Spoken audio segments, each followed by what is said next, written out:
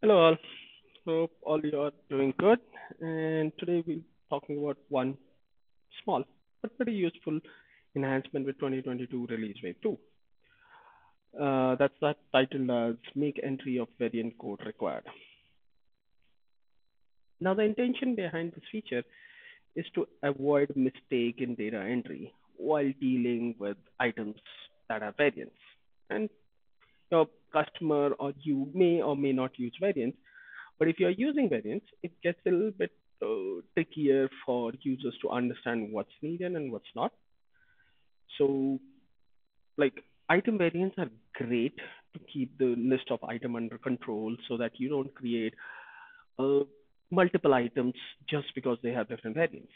Just to take an example, if uh, if you're selling, let's say, shoe, and they come in different colors, you don't want to create a shoe red, shoe blue, shoe green, shoe white.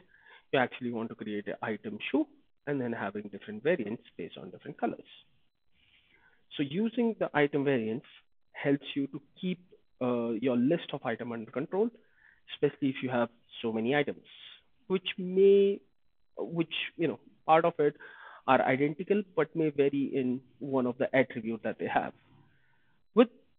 The 2022 release wave 2, uh, Microsoft have uh, given a way that if your customer or if you are using variants, then you can just for a visual notification of the user who will be keying in the information in system, have the variant mandatory visible on the screen.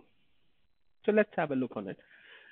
So what happens is when you go into, let's say, into Business Central, let's log in there. And let's say when you try to create a sales order, let's try that.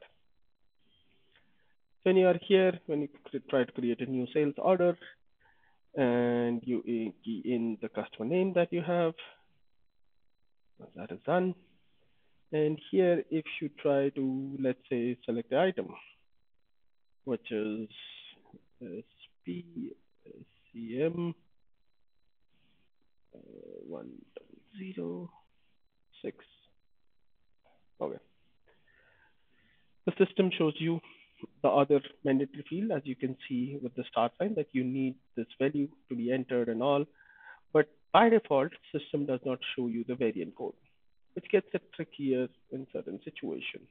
And even if uh, it has variants, the, the user is not getting any visual clue to make sure that he or she need to enter uh, the, the variant code or not.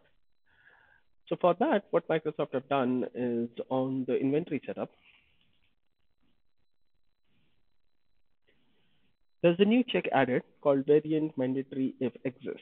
So if the item has a uh, variant exists, it'll start showing that it's mandatory as a visual clue to the user when he or she is trying to key in that order.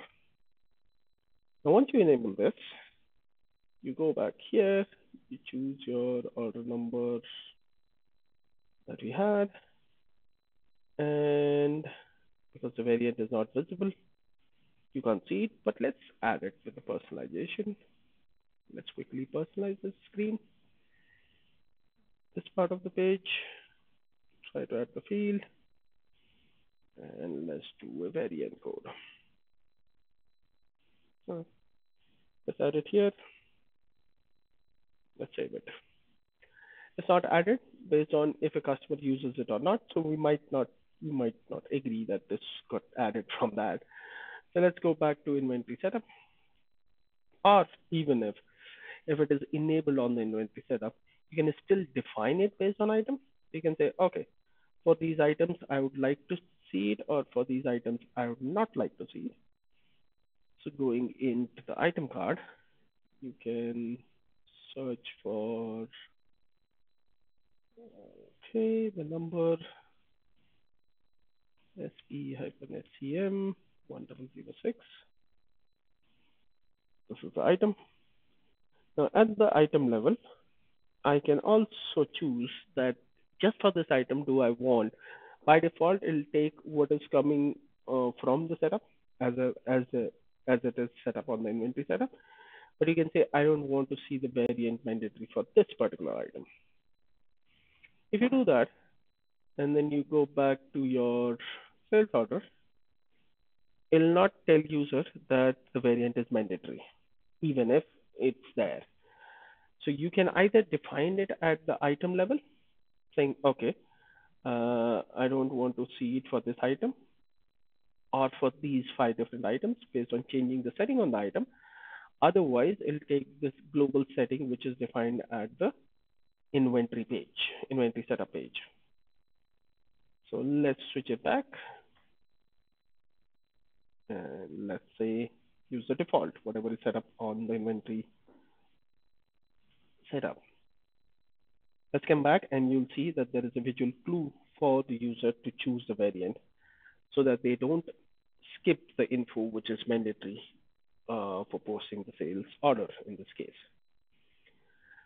So what we learned, the new feature that's added, it actually starts from the inventory posting setup where you define variant mandatory if exists.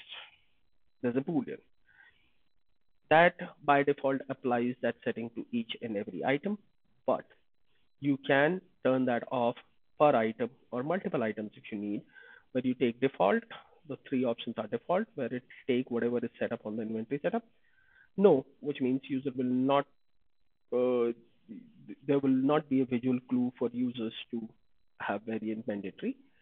And yes means uh, it'll show you and it'll uh, block you from posting the transaction. These settings don't affect items that they that does not have variants. So if only and if you have variants, then and only then it'll start showing you those. It doesn't impact it. If this capability is on for items with variant, user will see the field mandatory icon on the documents as we saw on the sales and purchase documents as it is. So hope if your customers are using the variant code feature, you'll be able to utilize this feature that's added in 2022 release wave 2. I'll see you in the next video. Do share the video, uh, subscribe to the channel if you haven't. And this is Saurav Dhyani signing off. See you in the next video. Thank you.